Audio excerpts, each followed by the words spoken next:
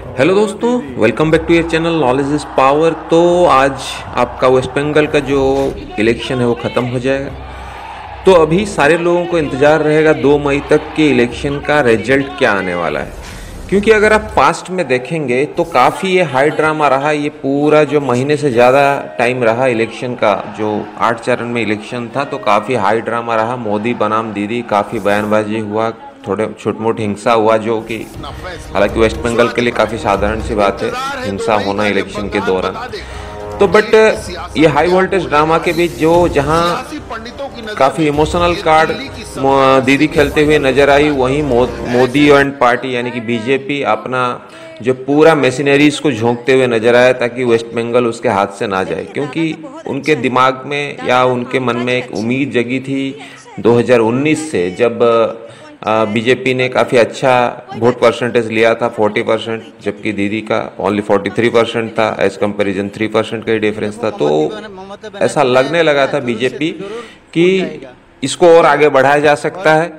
और मोदी से दीदी से खास करके लोग 10 साल से जो एंटी इनकन्वेंसी है तो इसके वजह से काफ़ी उम्मीद है। तो सारा मशीनरी इसको बीजेपी ने झोंक लिया था। तभी आप देखेंगे कि मार्च से पहले जो ओपिनियन पोल्स आते थे वो ज़्यादातर दीदी के सपोर्ट में आते थे या दीदी की तरफ़ झुकाव उसका ज़्यादा था क्योंकि लोग उस समय दीदी के अगेंस्ट में उतना सोचे नहीं थे। हालाँकि बीजेपी का सीट लगभग सौ के आसपास आता था बट मेजोरिटी की तरफ़ नहीं था बट जब देखेंगे आप मार्च के अच्छा बाद मार्च के जो इलेक्शन का जो वोटिंग अच्छा शुरू होने से जस्ट पहले लास्ट हफ़्ते में जब आप ओपिनियन पोल्स को देखेंगे यहाँ पे आप देखेंगे कि चाहे इंडिया न्यूज़ का जन की बात हो इंडिया टीवी का पीपल्स पल्स हो एबीपी न्यूज़ का सीएनएक्स हो जो भी हो सारा आप देखेंगे कि जो बीजेपी की जो वोट है वो या जो सीट शेयर है वो काफ़ी ऊपर बढ़ते हुए नज़र आया और हंड्रेड से ऊपर चलते हुए नज़र आया और कहीं कहीं लास्ट तक आप देखेंगे कि बीजेपी को मेजोरिटी भी दिखाया गया।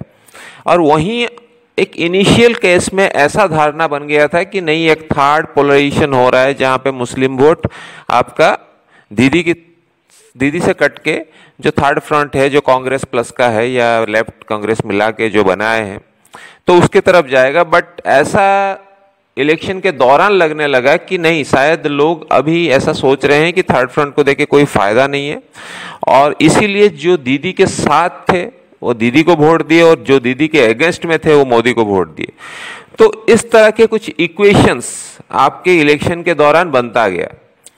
तो ये आपके सामने है जो पोलिंग एजेंसी जो पिछले जो मार्च के दौरान जो दिए थे, यहाँ आप देख सकते हैं बड़े आसानी से, जो कहीं बीजेपी को मेजोरिटी मिला है, कहीं आपके टीएमसी को।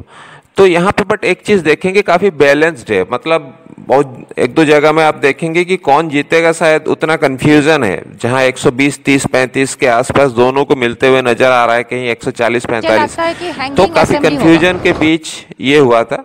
अगर आप मेरा पिछला वाला देखेंगे उसमें मैंने यही बताया था कि जो आपका अभी कंफ्यूजन है पिछले जो एक महीने में पहले मैंने बनाया था तो लगभग वही था दोनों का 135 के आसपास बंगाल में जो सीट्स मिलने के आसार लग रहे थे वही लोगों का भी कंफ्यूजन था कुछ लोग बोल रहे थे नहीं टीएमसी आएगा कुछ लोग बोल रहे थे नहीं बीजेपी आएगा टीएमसी से वो परेशान है।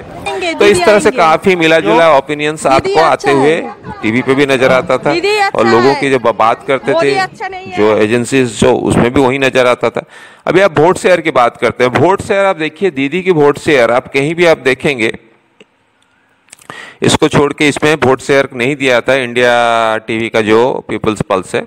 ज़्यादातर आप दीदी का वोट शेयर बहुत ज़्यादा आप ड्रास्टिकली कम होते हुए नहीं देखेंगे। 2019 में जहाँ दीदी की वोट शेयर 43 परसेंट था, अभी भी आप देखेंगे 43 44 यहाँ 40 है।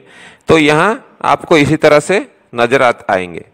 तो इसी को देखते हुए आप देखेंगे कि बीजेपी का वोट शेयर कंपेरेटिवली आपका बढ़ा है, बहुत जगह में 44 तक भी गया है। देखिए, यहाँ पे 40 था 44 गया है, कहीं 38 दिखा है, कहीं 37 दिखा है। जहाँ 37 दिखा है, वहाँ कांग्रेस को ज़्यादा दिखाया है और टीएमसी को कम दिखाया है। तो इसी हिसाब से आप देखेंगे तो बीजेपी का वोट शेयर भी कुछ ओपिनियन पोल्स में आप काफ़ी बढ़ा हुआ नज़र आएँगे। बट अगर आप इलेक्शन के दौरान देखेंगे तो बीजेपी का वोट शेयर आपको बढ़ते हुए नज़र आएँगे, क्योंकि लेफ़्ट और कांग्रेस की तरफ़ कोई झुकाव इस इलेक्शन में था ही नहीं। तो जो लेफ़्ट और कांग्रेस से वोट छिटक के आएँगे तो चांसेस ज़्यादा है कि वो बीजेपी की तरफ़ जाने, जाएँगे। दीदी के कंपैरिजन में बीजेपी की तरफ़ जाएँगे, क्योंकि कांग्रेस और लेफ़्ट को लोग कंपटीटर मानने से मना कर दिया ऑलमोस्ट नकार दिए। हालाँकि कुछ बेल्ट है जो सातवें चरण में, उस बेल्ट में हो सकता है बीजेपी का उतना स्ट्रांग होल्ड नहीं था as comparison to left and Congress कुछ एरिया में जो मुस्लिम बहुल इलाका है ज़्यादातर। तो वहाँ पे हो सकता है कुछ सीट में कांग्रेस और लेफ़्ट जीत जाए। अदरवाइज़ पिछले जो सात आठ चरणों की जितने भी हुए, वहाँ पे आपको बीजेपी और बीजेपी यानी कि मोदी बनाम दीदी का आपको दिखेगा। तो अभी समझते हैं कि आगे हम समझते हैं कि कितना जो दीदी का परेशान होने के क्या कारण था? वोटिंग टर्नआउट क्या था? जो आप देखेंगे यहाँ पे फ़र्स्ट फ़ेज़ से शुरू होकर सेवेंथ फ़ेज़ तक। जहाँ फ़र्स्ट फ़ेज़ में 84 परसेंट एटी था और सेकंड चरण में 86 था, फिर 84 था। तो ये जो वोटिंग परसेंटेज था, ये एवरेज पिछले साल से ज़्यादा था। तो यही कारण था तो दीदी इस दौरान काफ़ी परेशान थी। और अगर टोटल सातवें चरण तक वोट परसेंटेज के आप काउंट करें तो 82.37 ये जो हायर वोटिंग परसेंटेज है एस कंपैरिजन जो पिछले जो वोटिंग हुआ था, उसके कंपैरिजन में ये थोड़ा सा कम है बट कंपैरेटिवली ज़्यादा है। अगर जहाँ पे आप सत्ता परिवर्तन होता है, वहाँ वोटिंग परसेंटेज अक्सर बढ़ जाता है। तो इस चीज़ को प्रूव करने के लिए मैं कुछ पास डाटा आपको दिखा रहा हूँ। देखिए, यहाँ पे 2006 में जब लेफ़्ट की सरकार थी, वहाँ पे 81.92 परसेंट वोट पड़ा था। जैसे ही आपका देखिए यहाँ पे चेंज, चेंजेस हुआ तो यहाँ पे आप देखेंगे 84.30 परसेंट वोट पड़ा 2011 में जब दीदी की सरकार आई थी। तो यहाँ पे आप देख सकते हैं कि कितना बड़ा ड्रास्टिक चेंजेस हुआ था, क्योंकि जब लोगों को सत्ता परिवर्तन करना होता है, तभी लोग घर से बाहर आते हैं। तो यही चीज़ आप अगर दूसरे राज्य में भी देखेंगे, यही चीज़ रहा। है आप देखेंगे, ये यूपी का देखिए। यूपी में 2011 में आपका 59.4 परसेंट था। जब 2017 में आपका योगी सरकार आया और काफ़ी मेजोरिटी के साथ आया फुल मेजोरिटी के साथ आया, तब आप देखिए वहाँ भी लगभग दो परसेंट के आसपास आपका वोट परसेंटेज बढ़ा था वोट टर्नओवर बढ़ा था। तो इसी को देखते हुए बीजेपी में काफ़ी होप जगा है कि बीजेपी यहाँ पे सत्ता में आ सकता है और आपका उसी को लेकर टेंशन में है जहाँ पे टीएमसी की शायद हमारा सत्ता जा सकता है।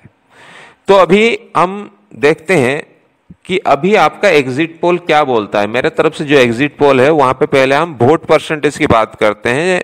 मेरा प्रेडिक्शन वोट परसेंटेज है टीएमसी को 40 से 42 परसेंट बीजेपी को 42 से 44 परसेंट और इंडियन नेशनल कांग्रेस प्लस यानी कि जो पूरा उनका मिला जुला गठबंधन है, उनको 9 से 10 परसेंट यहीं पे आपका तीन परसेंट लगभग का वोट कटेगा, जो बीजेपी और टीएमसी में हो सकता है बटेगा, और कुछ टीएमसी से स्विचिंग होकर बीजेपी की तरफ़ आएगा, और बीजेपी को नुकसान का चांसेस कंपैरेटिवली कम है, जहाँ पे वहीं अदर्स को फोर से फाइव परसेंट का वोट मिलने वाला है। वहीं अगर हम देखेंगे एग्जिट पोल की बात करें तो मेरे हिसाब से टीएमसी को जहाँ 115 से 125 सीट मिलने के आसार लग रहा है, वहीं बीजेपी को मार्जिनली एक हायर वोट मिलेगा यानी कि हायर सीट्स मिलेगा जो 155 से एक की बीच होगा। वहीं जो आपका मिला जुला गठबंधन है तो उनको शायद 12 से 15 सीट मैक्सिमम मिल सकता है। अदर्स को शायद ज़ीरो से तीन सीट के बीच में मिल सकता है। तो ठीक है तो आज के लिए इतना ही। तो इंतज़ार करते हैं दो मई तक रिज़ल्ट के लिए। So still then stay tune thank you